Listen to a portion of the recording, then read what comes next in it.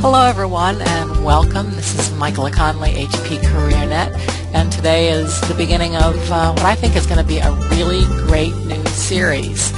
We've got Dr. Ron Goetzel who's going to lay the groundwork for the C. Everett Koop Awards and then we're going to have in the subsequent months we're going to hear from some of the winners. So let me say to you that Ron Z. Goetzel wears two hats, at least I would have to say. Uh, he is the director of the Emory University Institute for Health and Productivity Studies, IHPS, and vice president of consulting and applied research for Thomson Reuters. Uh, the mission of the IHPS is to bridge the gap between academia, the business community, and the healthcare policy world, uh, bringing academic research uh, into policy debates and the day-to-day -day business decisions and bringing health and productivity management issues into academia. Dr. Goetzel is a nationally recognized and widely published expert on health and productivity management, HPM, return on investment, ROI, those those great keywords or acronyms, I guess, and uh, program evaluation and outcomes research. Uh, Dr. Goetzel is a task force member of the Guide for Guide to Community Prevention Services housed at the CDC and president and CEO of the Health Project, which annually awards organizations the prestigious C. Everett Koop Prize for demonstrable health improvements and cost savings from health promotion and disease prevention programs. That's a lot, and that's well, that's only the tip of the iceberg, I think, Ron, because you are just a uh, you're everywhere. are you ready to get started? I am. Thank you so much, Michael. I appreciate it very much and appreciate uh, the interest of the audience in hearing about uh, the Health Project and the C. Everett Koop Award you know, we're kind of at an important place in history, I think, right now with the passage of the Affordable Care Act. Uh, there's been a greater emphasis placed on prevention and health promotion. Uh, it's, an, I think, an unprecedented opportunity to influence how healthcare is being delivered in this country.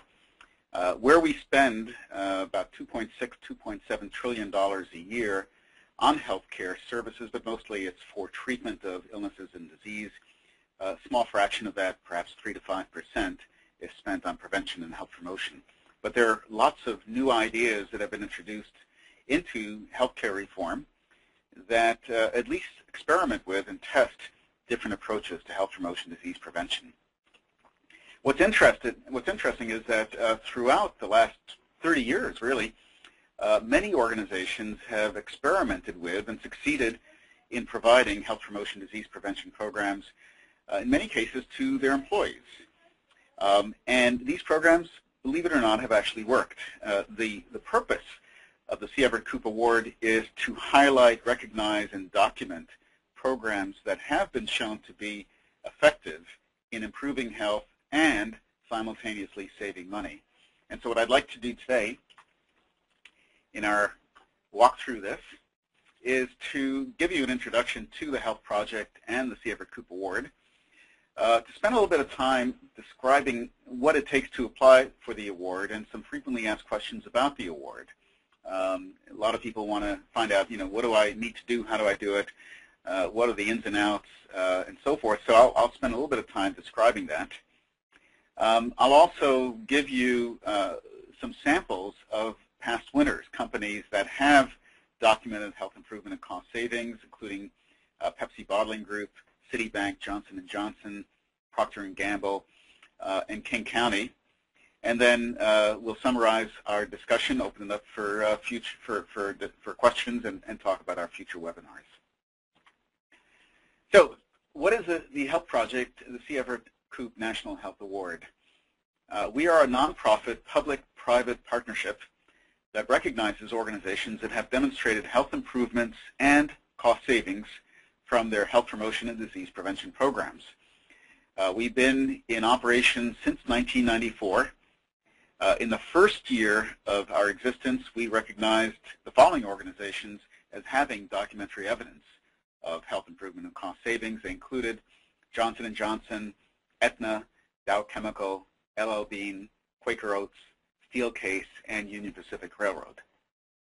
In fact, some of these uh, companies have come back and reapplied for the award with new data, with new information, with new interventions, And in some cases, they have won the award multiple times. In fact, I think Union Pacific Railroad is the leader in that regard in that they have won the Koop Award four times.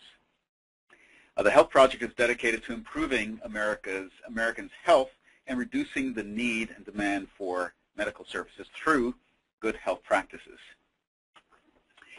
Our board of directors includes our honorary chairman, Dr. Koop, who is at the Koop Institute at Dartmouth up in New Hampshire. Our chairman and co-founder is Carson Beadle. I'm the president and CEO. Our chief science officer is Dr. Jim Fries from Stanford University, and our secretary treasurer is Jim Wheel. The following page gives you a list of the board members, the current board members. And this is important because these are the people who are tasked with reviewing the applications for the award.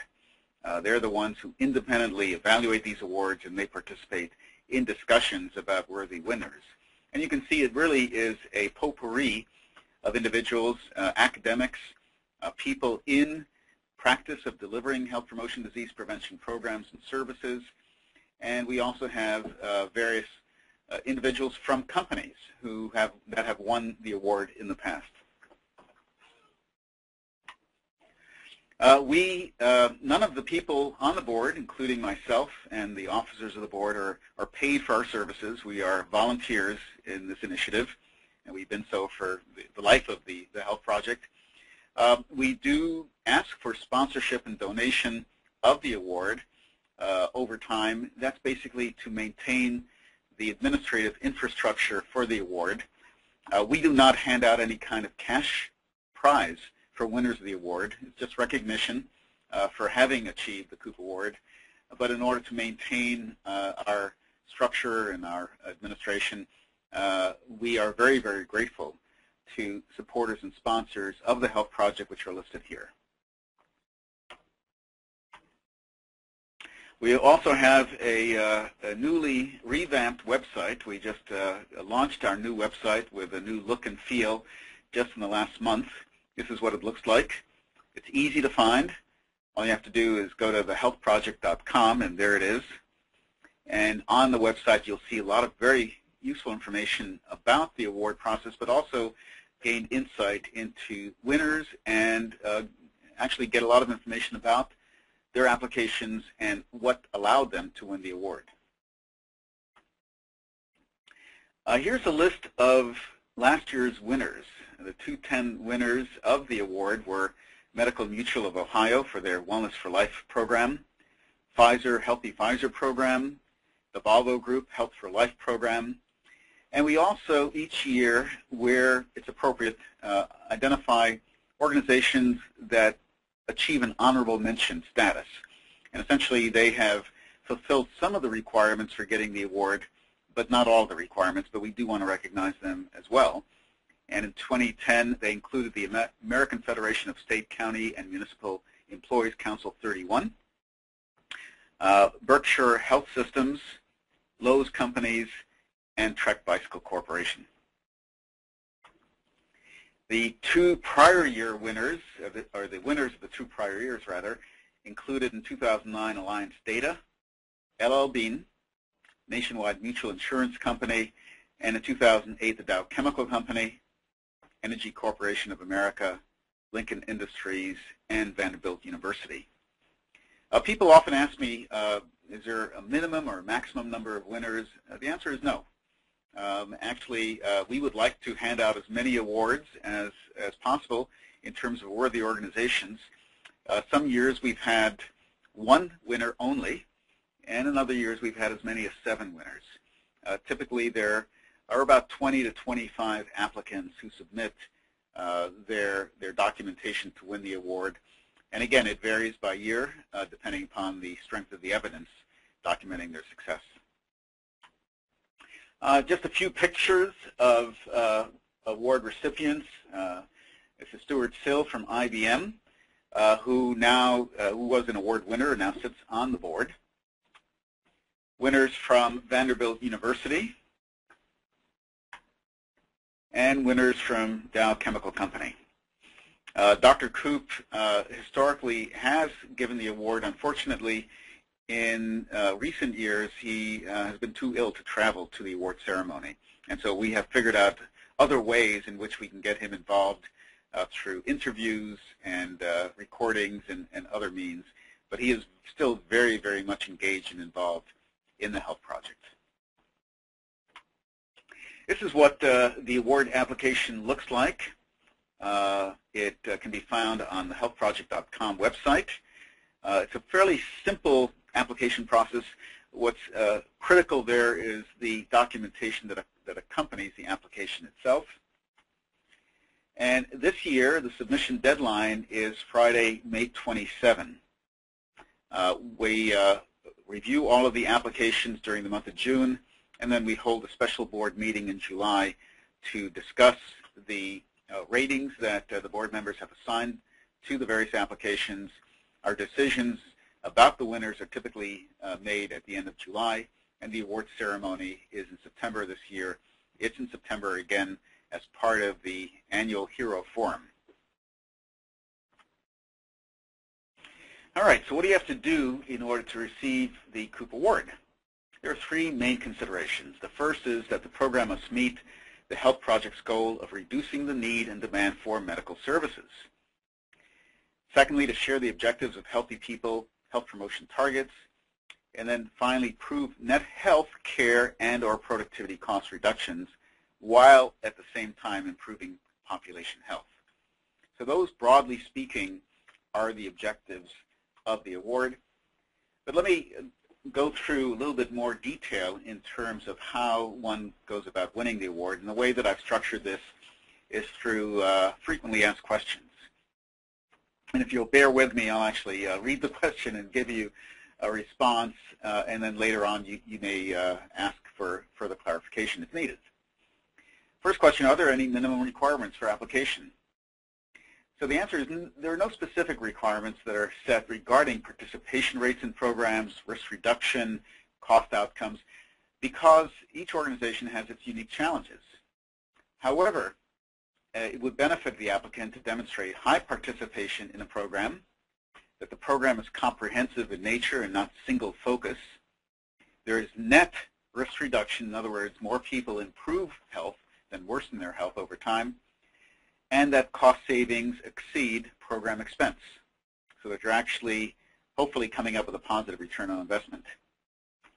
Uh, longer term programs, those are, that are in place for three or more years, are generally higher rated than those are in their first formative and beginning years. What are programs evaluated on? Well, they're evaluated on adherence to evidence-based practices, comprehensiveness, participation rates, health improvement, risk reduction, and net cost savings. Are requirements different for small and large organizations? Another common question that, that's asked, you know, most of the winners have been large organizations, but uh, what about small companies, small organizations, can they apply? Well, the answer is that smaller organizations are, are not expected to do the kind of sophisticated claims analyses that are typically found with large businesses. But if they can document cost stabilization over, let's say, a three to five year period, if their healthcare costs have not gone up dramatically over that period without any significant benefit plan design changes or other utilization management measures, that's often considered sufficient in terms of demonstrating cost savings. We do, of course, also look for documentation for health improvement. Does a published article serve as a gold standard? Yes, that's always nice to see if a third party, an objective organization, uh, has reviewed the program, evaluated the program, and better yet, published its findings in a peer-reviewed journal. Uh, it's relevant, of course, if it's informative of the evaluation results, demonstrating health improvement and cost savings, but it's not a requirement. Is financial impact required, or is change in risk status and utilization sufficient?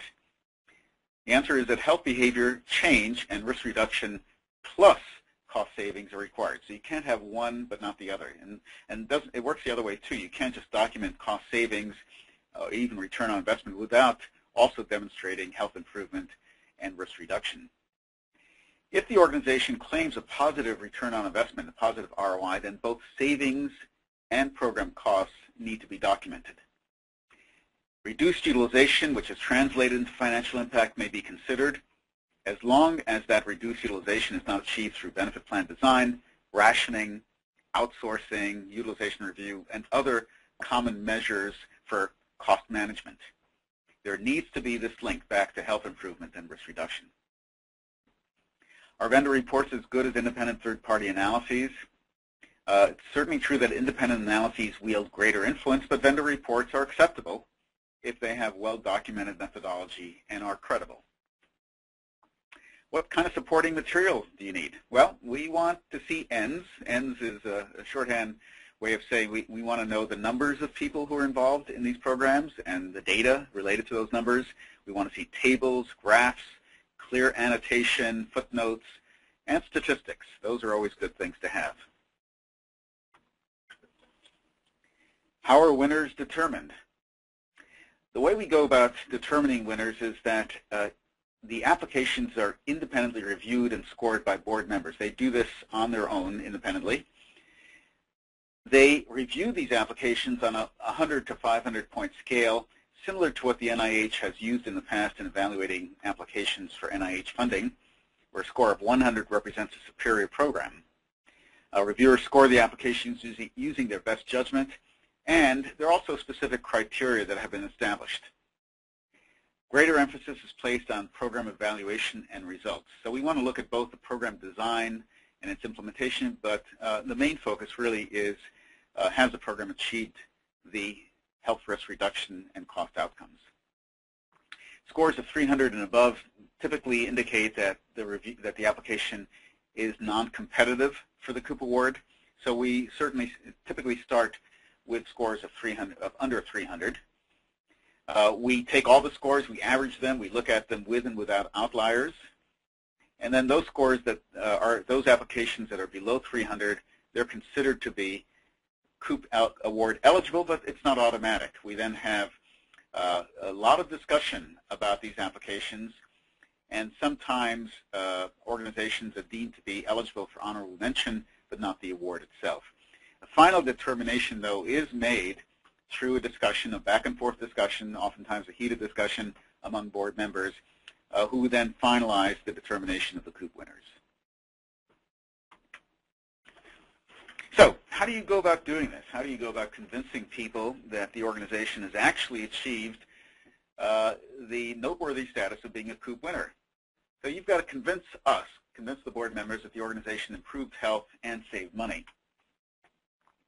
And you know, if you step back from this, you know, the logic flow that we we typically look at, we know that a large proportion of diseases and disorders from which people suffer is preventable, that modifiable health risk factors are precursors to many diseases and disorders and premature death, and that many modifiable risk factors are associated with increased healthcare costs, even within a relatively short time window, not to mention diminished productivity.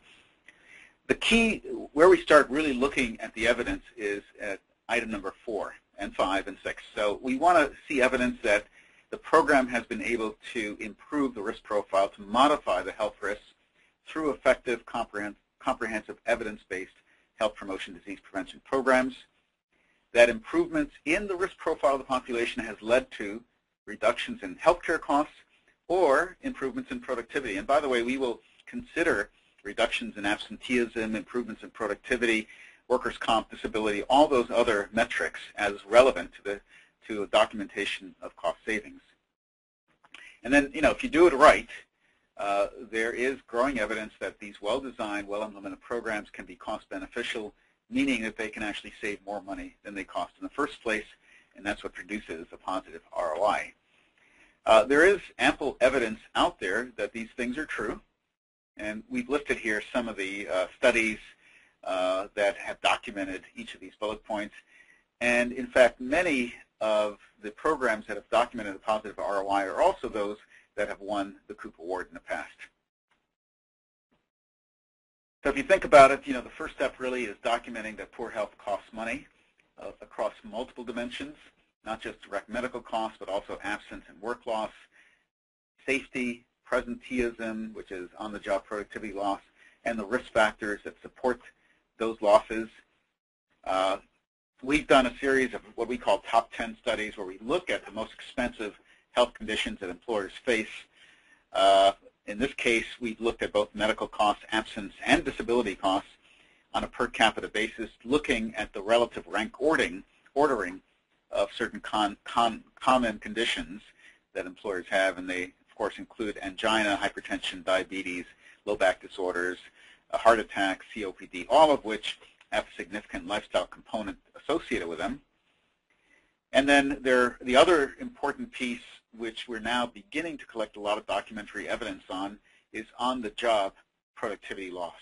This analysis looks at certain common chronic health conditions, uh, and you can see that a large proportion of the cost of those conditions uh, can be attributable back to people coming to work with these conditions, but those conditions not being well managed, and therefore there's a loss of productivity, loss of on-the-job performance, which can be monetized, can be assigned a dollar value.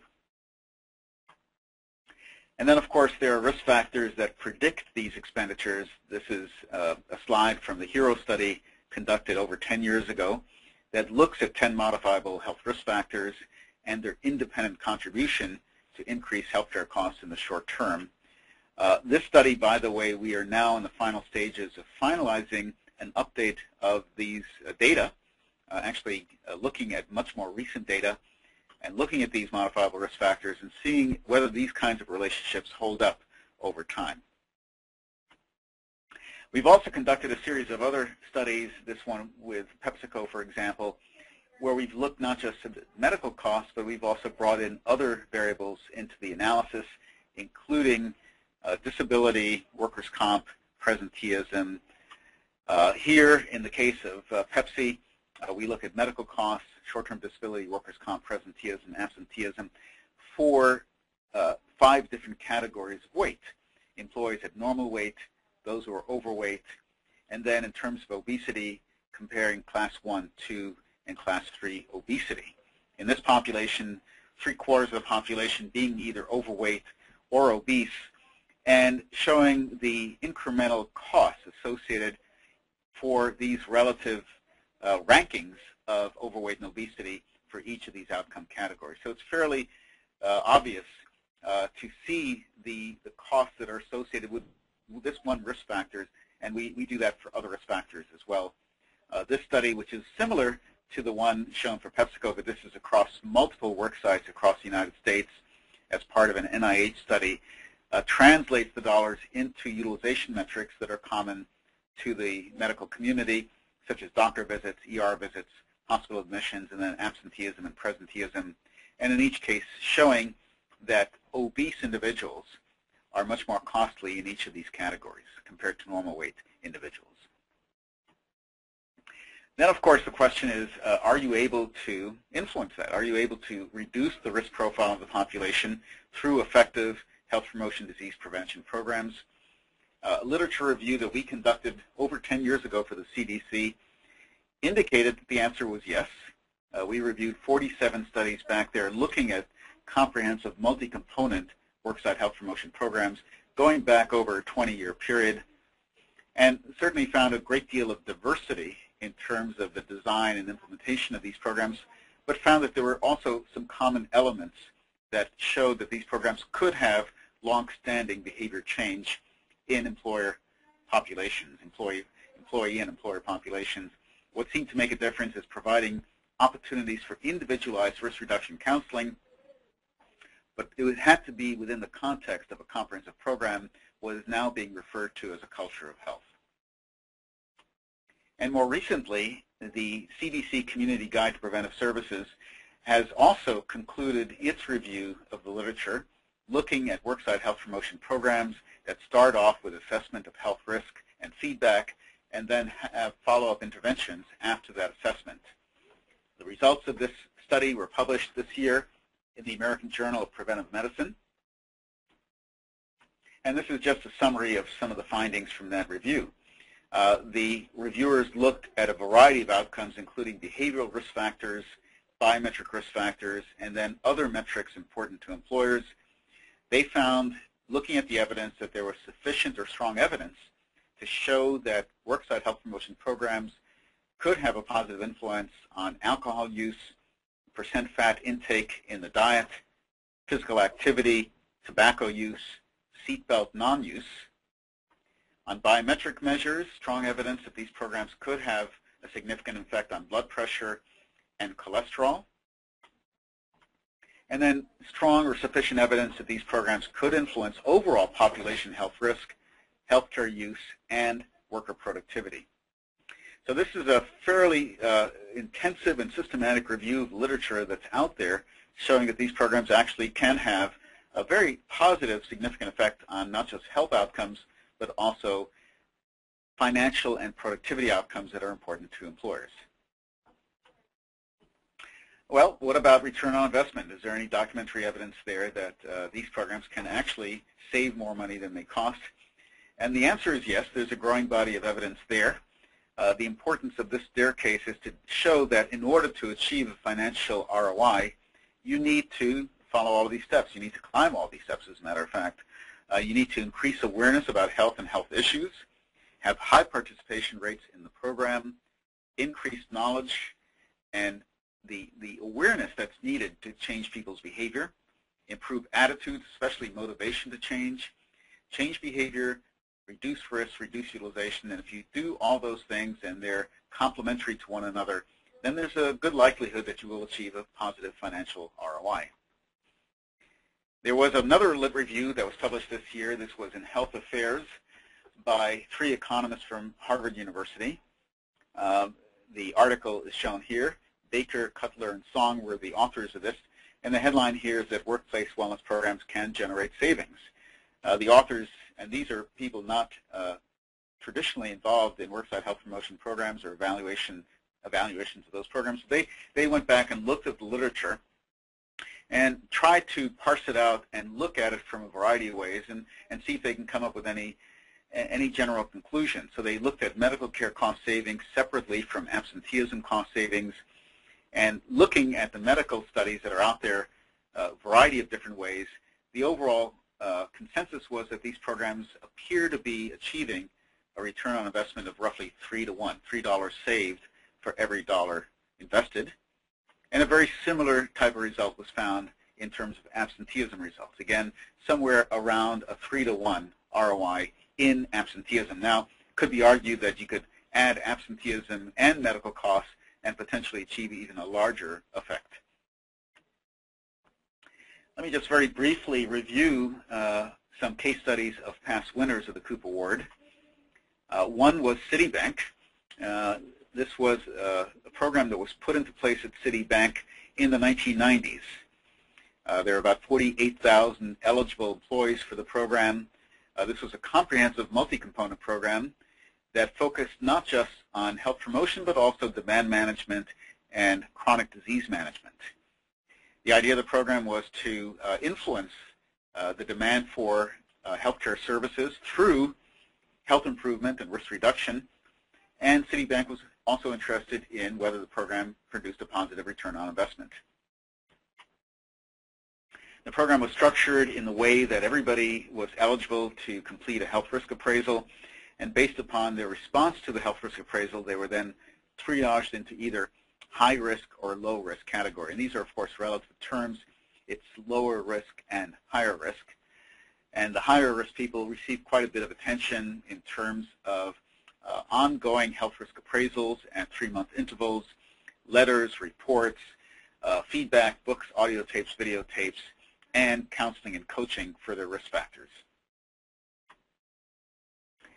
As I said, there were about 48,000 eligible U.S.-based employees, and over half participated in the program with only a $10 incentive for participation. That was a very relatively small incentive at the time, which at that time achieved a pretty high level of participation, and 3,000 people were enrolled in the high-risk program. Now, how do we go about evaluating whether the program improved health or not? Uh, this is an example of how to go about documenting that. What we're looking at here is a cohort of employees. There are 9,234 employees who are followed over a two-year period. And essentially what we're looking at here is let's take the first category of fiber, and what that is a risk factor for is not getting enough fruits and vegetables in your diet. And so at the beginning of the program, 95% of the employees did not get enough fruits and vegetables in their diet, at the end of the program, 93% did not. So actually, uh, from a meaningful standpoint, not a whole lot of improvement, although it turned out to be statistically significant with a 2% net, net savings, net percent improvement in that risk factor. And as you can see in other risk factors, similar types of improvements, but not very significant. There are 2 to 3, 4% net improvements in the risk profile, although in uh, 8 out of the 11 categories, those improvements were positive and statistically significant. When you look at the population that improved its risk profile, uh, those people who were able to improve one, two, or three risk factors on a net basis, uh, there was actually a significant reduction in cost for those people, especially for those who improved on three risk categories. Citibank saved somewhere around 146 to $147 per employee per month for that group of people who showed a net reduction in three risk factors. And looking at the experience of about 23,000 employees who were involved in the study, uh, followed over a 38-month time period, uh, looking at their pre-program costs and their post-program costs. These costs are per employee per month. Uh, the net difference in cost between participants and non-participants turned out to be $35 per employee per month. And if you take that amount and you multiply by the roughly 11,000 participants and the roughly 23 months of exposure to the program. You do the math, and that ends up being about $8.9 million in savings, which for Citibank was a positive net savings.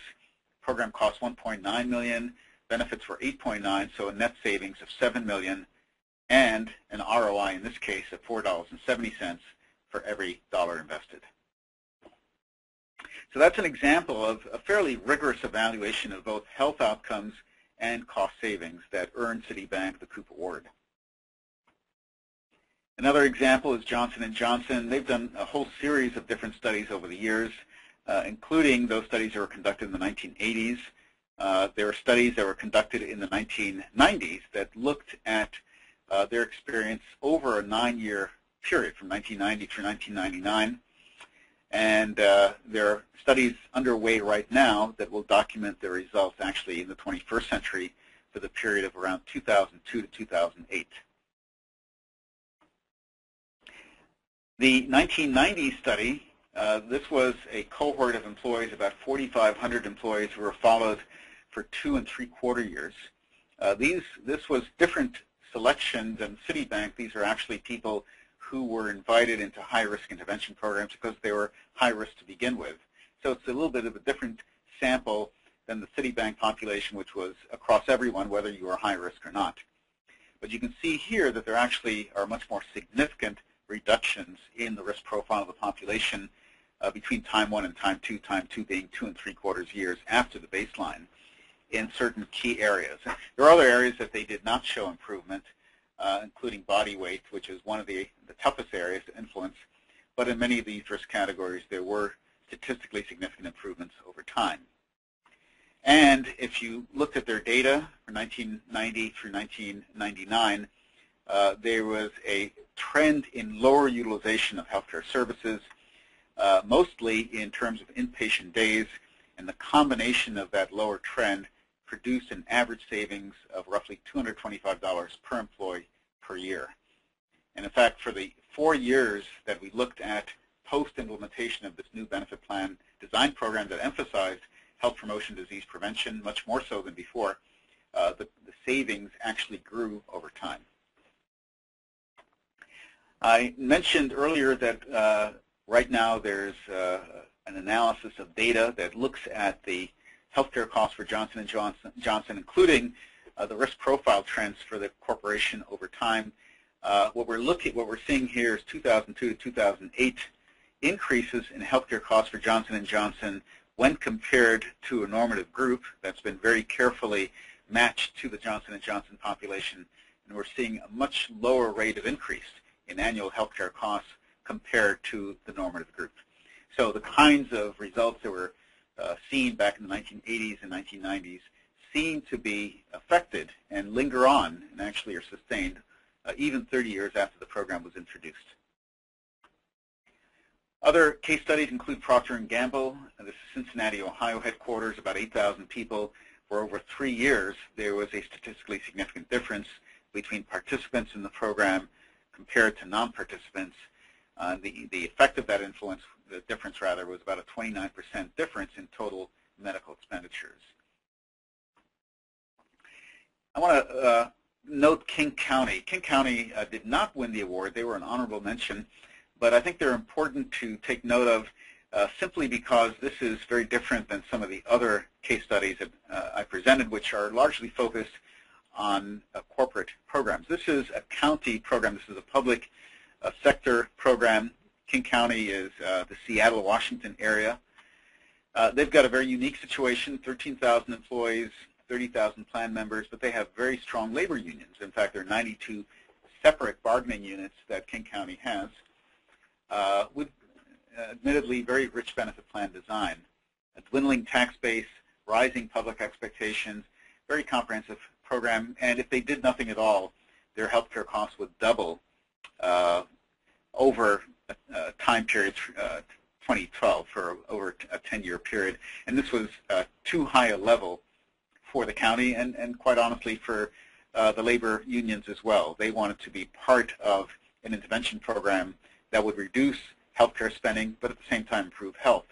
So there was a partnership there between labor and management and the county uh, to introduce a comprehensive health promotion program uh, where people were rewarded for participating in the program. Uh, we did several analyses on this program. Here we're looking at 14 risk factors. Uh, this is uh, this is a population of employees and their spouses and partners. Uh, we had roughly a, close to 90% participation among employees in the program, and we're seeing a statistically significant reduction in uh, 12 out of the 14 risk factors over this three-year time horizon.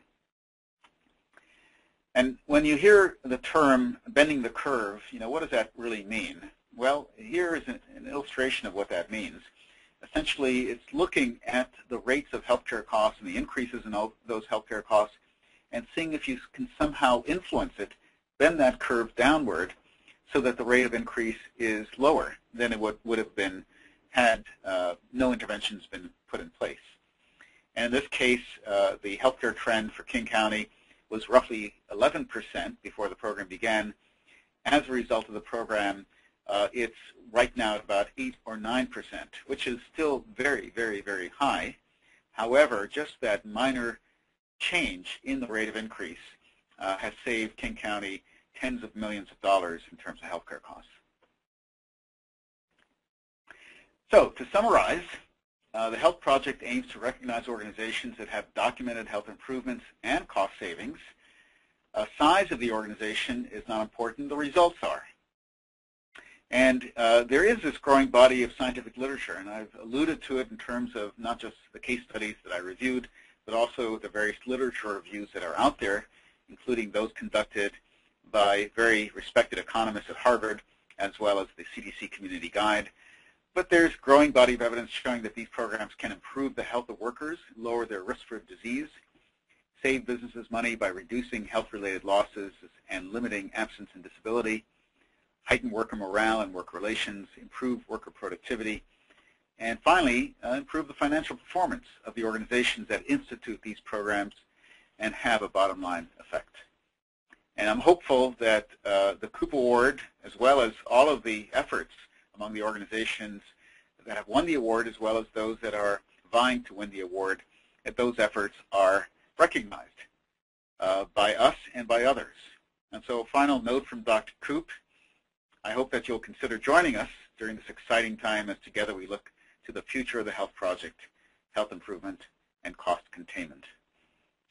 And with that, I will stop and open it up for any questions or comments that you may have. Michaela? All right. Well, that was uh, that was great. Um, it's it's awesome to see a, an overview and see how many companies are really working hard to uh, provide that evidence that um, you know it's working. uh, let me say that if you have questions, you can either type them into the box, or if you'd like to, I can unmute your microphone uh, and you can ask Ron directly. Um, I think maybe you mentioned it, Ron. Uh, I have a question while people type away. Um, how many how many companies typically apply each year? Historically, we've had anywhere from 15 to about 25 companies apply, somewhere mm. in that neighborhood. And does it does it um, what's the the application process is basically submit your stuff and then it goes to the board members and such. Is there any back and forth on that? Not really, no, no. We, no. we don't uh, provide counseling or coaching. We do provide feedback, though. You know, after companies have submitted their applications um, and they're deemed reviewable, then uh, the board members independently uh, list the, uh, the, the positives and negatives on each application, and they will that information will be shared back with the applicant company, and, and, very often they use that information and then improve their methods and resubmit the following year. Hmm. Great, yeah, that would be an uh, incredible benefit to be able to get that kind of feedback in detail from such a well-known and experienced audience. Um, okay, people are, I know that, I don't know what it is, but everybody, it happens every single week. Nobody wants to be the first one. it's like, uh, you know, they're sitting in the back of the room, or somebody, some of you are sitting in the back of the room going, not me, not me, not me. um, let's see, what else? I don't have you want, you want to talk a little bit about future webinars that uh, will be upcoming? That's a really good idea. May be uh, presenting at? Yep, that's good. That's good. Yeah, um, this is this is the beginning of uh, what I think is really going to be an awesome series, an opportunity to really see what people have done to to achieve the award, but also you know hear their unique stories and and such. So um, you can mark your calendar that the second Wednesday of each month, um, beginning February 9th, it'll be February 9th, March 9th, April 13th, May 12th, I'm sorry, May 11, June 8 and July 13, we'll be hearing from each of the um, award winners from both 2010 and 2009. So uh, that'll be uh, Medical Mutual Ohio, Wellness for Life, Pfizer, uh, Healthy Pfizer Program, the Volvo Group, Health for Life, Alliance Data, Healthy Alliance, LL Bean, uh, Healthy Bean, and uh, Nationwide Mutual Insurance Company, My Life, My Choice, and My Health. You know, I had last year at um, the HERO conference, uh, or maybe it was the year before, I had the opportunity to sit with the, uh, the LL Bean people um, for lunch. I guess it was the awards lunch. And what a fun bunch of people they were. I, uh, I had chosen to sit with them just because, you know, I love LL Bean. Um, but it was great to be able to hear the details and, and all that they have done and, you know, just sort of celebrate with them. Uh, and then pa this past year I sat with Trek Bicycle, also a uh, huge favor, huge, huge um, favorite of mine. Um, let's see. Here we have we do have a question from Linda. Thank you, Linda, for being the first.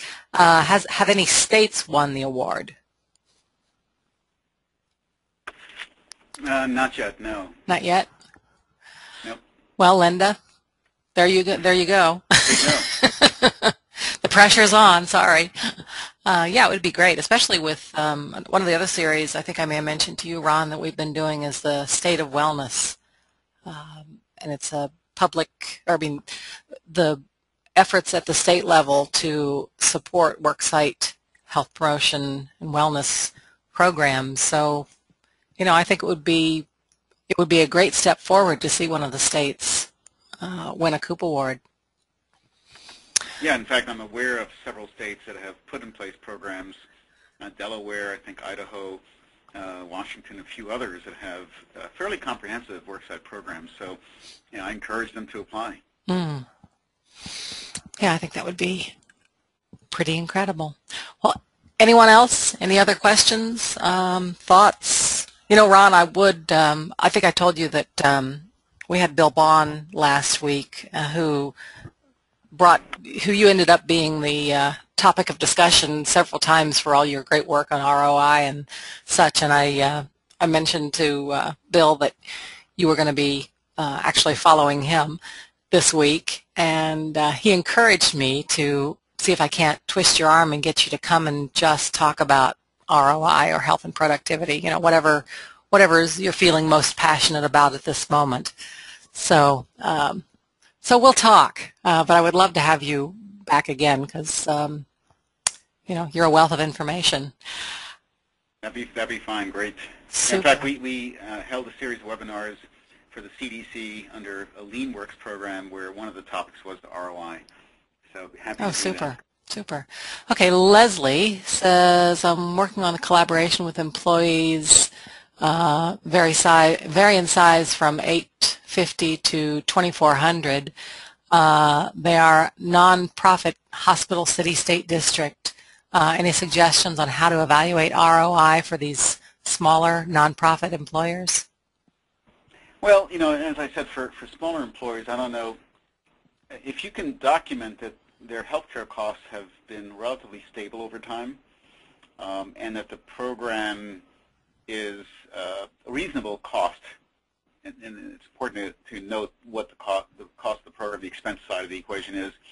But if you're able to show kind of stable healthcare costs over time without radical benefit plan design, utilization management, you know, uh, all kinds of other methods of reducing costs, uh, that often is good enough uh, because the reviewers do take into consideration the size of the organization and for a small organization, they're not able to do very fancy claims analyses. Mm. Yeah, that makes me think. Uh, I've heard some people talking about, you know, uh, obesity and such, and saying that really the maybe the goal should be just to not gain weight. That staying, remaining, you know, at a static level is really a plus. So kind of the same, along the same lines, I think. Uh, let's see.